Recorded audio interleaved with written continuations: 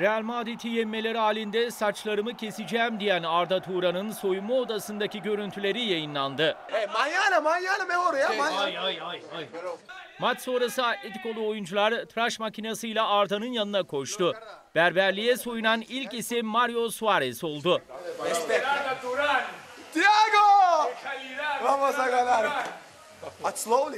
Arda, Suarez'in yaptığı Moikan saç modeliyle bir süre dolaştıktan sonra kulübün fizyoterapisti saçlara son şeklini verdi.